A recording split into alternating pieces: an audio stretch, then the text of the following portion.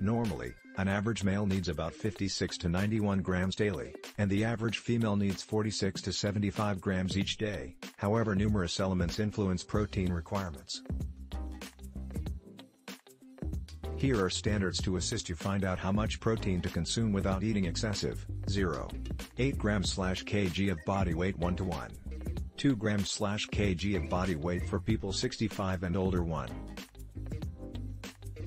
Healthy protein sources include, beef, chicken, pork, and lamb salmon, trout, sardines, and shrimp beans, legumes, quinoa, tempeh, and tofu, veggies, do not hesitate to fill your plate with leafy green veggies. They're packed with nutrients, and you can eat huge amounts without significantly increasing calories and carbs.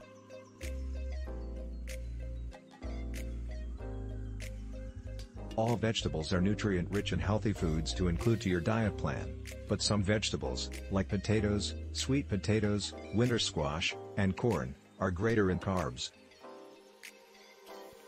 Vegetables to include more of, broccoli cauliflower spinach tomatoes kale, Brussels sprouts cabbage, Swiss chard lettuce a cucumber peppers, healthy fats, don't be afraid of eating fats.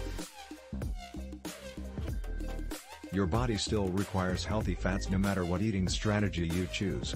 Olive oil and avocado oil are great options for including in your eating plan. Nuts, seeds, olives, and avocados are scrumptious and healthy additions, as well.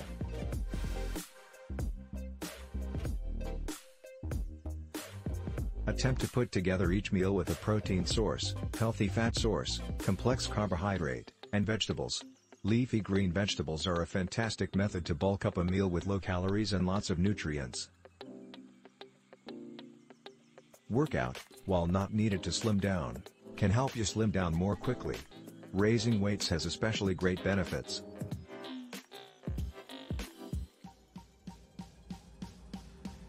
Try strength training 3 to 4 times a week.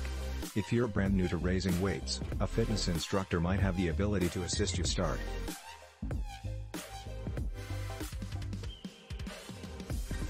Ensure your physician is also aware of any brand new exercise plans.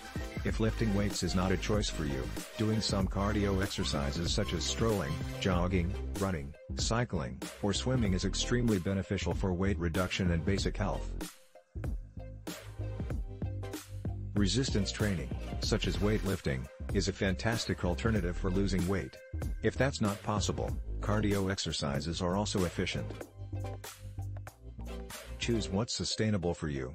If you decide for a low-carb consuming strategy, it's not necessary to count calories as long as you keep your carbohydrate consumption low and eat mostly protein, fat, and low-carbohydrate vegetables. Thanks for watching. Please subscribe.